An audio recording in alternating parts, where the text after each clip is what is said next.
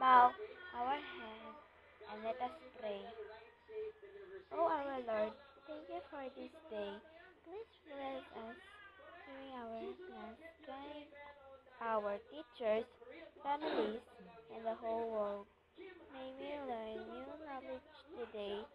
Please heal our world from COVID-19 for us children can go to school, learn new things with our teachers and classmates and gain memories. This we pray. Amen.